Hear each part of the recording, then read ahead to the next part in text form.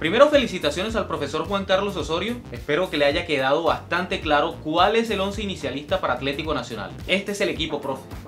Este es el equipo que debe participar tanto en Liga como en Sudamericana. Si usted le da continuidad a estos muchachos, a los que jugaron hoy, y también a los suplentes, a los que ingresaron, le va a ir bien, se lo aseguro. Si usted a estos muchachos les da minutos, les permite que se conozcan más, que tengan continuidad, que vayan creando pequeñas sociedades.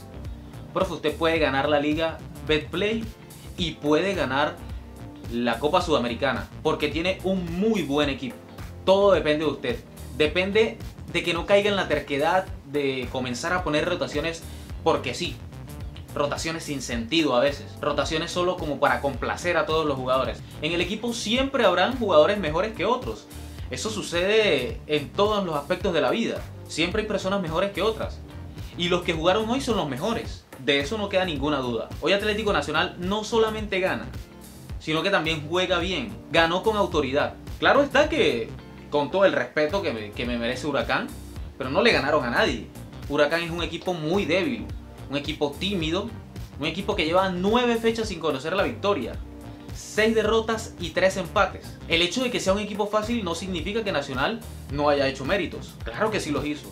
Ganó con autoridad. A estos equipos así hay que cogerlos y darles duro, golearlos. Y eso fue lo que hizo Atlético Nacional. Puntos para destacar en Atlético Nacional. Aparte de que el profesor Juan Carlos Osorio acertó con el 11 inicial, vamos a comenzar a hablar de los jugadores que me llamaron la atención. Muñoz, Daniel Muñoz. Hace poco hice un video hablando de que este jugador puede tener posibilidades en la selección Colombia. Mucha gente dijo que no, que cómo así, que ya sobrevalorando el jugador. Fue el goleador de Atlético Nacional en la temporada pasada. Ataca bien, defiende bien, centra muy bien la pelota y cuando le toca meterse al área, anota.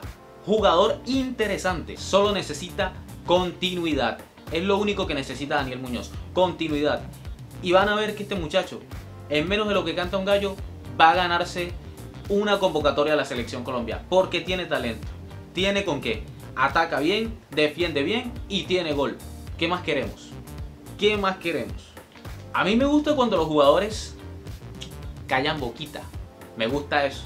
Y Baldomero Perlaza es un jugador que en este momento está callando boquitas a los hinchas de Atlético Nacional. Y yo sé que a los hinchas no les molesta esto. Porque esa es la idea, que el jugador calle boca. Que lo demuestre en la cancha. Que los insultos, que los memes son simplemente temas de, emoción.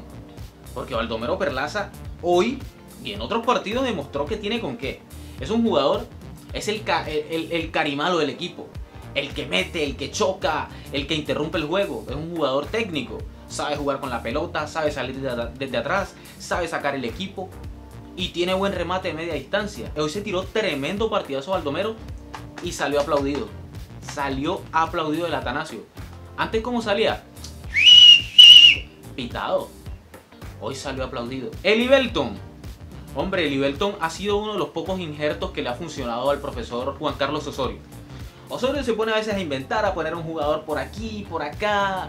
Ojalá que nunca ponga Duque de lateral o, de central, ¿no? Yo espero que nunca lo haga. Pero le funcionó tener a Eli Belton como central. Es un jugador versátil, no solo puede jugar por los extremos como lateral, sino que también lo hace bien como, como central. Va a ser una pelea interesante entre Perea, luchando la titular como central, con Eli Belton. Y también en el momento en que Osorio decida poner a Eli Belton como lateral, va a ser buena la pelea con Muñoz. Interesante el juego de Belton Palacios, pero bueno, me gustaría más verlo en su posición habitual que es lateral. Braguieri es lento, es lento. Y un equipo como Nacional, que sale a atacar, que siempre está proponiendo, necesita un hombre veloz en la defensa. El Iberton lo es, y yo creo que por eso el profesor Osorio lo puso, porque es veloz. Así que Perea a ponerse las pilas porque puede llevar buena banca. Aunque bueno, Osorio con sus rotaciones no creo que lo deje tomando banca. Para finalizar, muy buena asistencia, acompañó a la hinchada.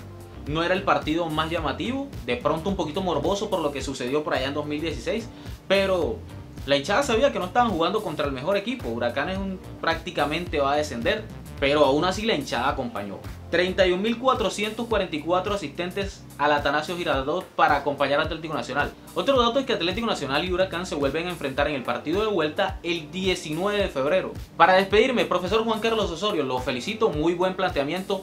Dele continuidad a este grupo y usted verá que va a llegar lejos, lejos. Todo depende de usted, de nadie más. Si usted pone a jugar a estos muchachos que entraron hoy, usted no lo para nadie. No lo para nadie. Deje la terquedad. Deje la terquedad y ponga los que son. Y verá cómo le va bien.